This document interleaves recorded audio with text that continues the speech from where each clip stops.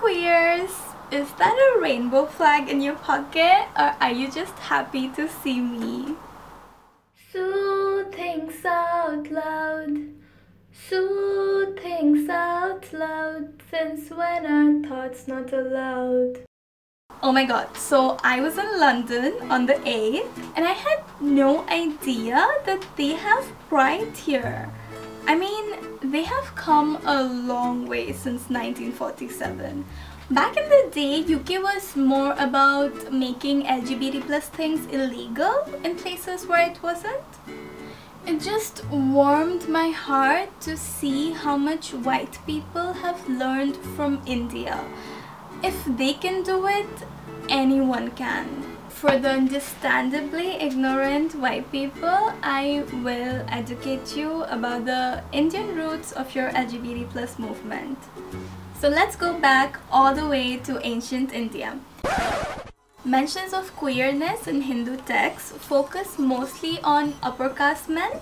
So following that tradition, Western LGBT plus rights focus mostly on white gay men.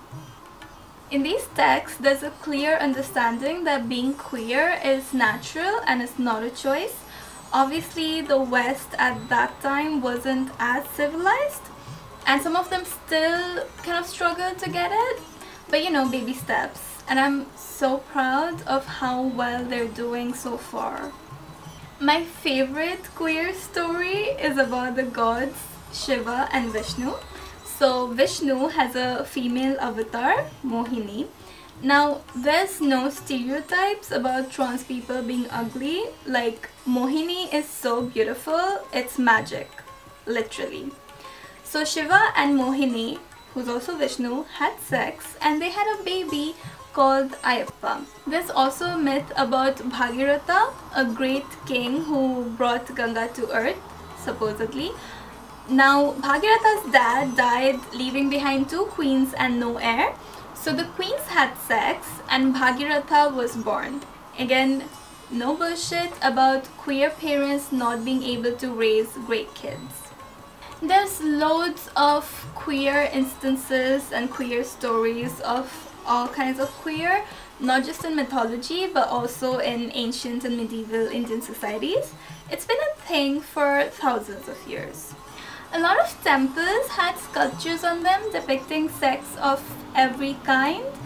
Um, a lot of these were destroyed by the British and Christian missionaries.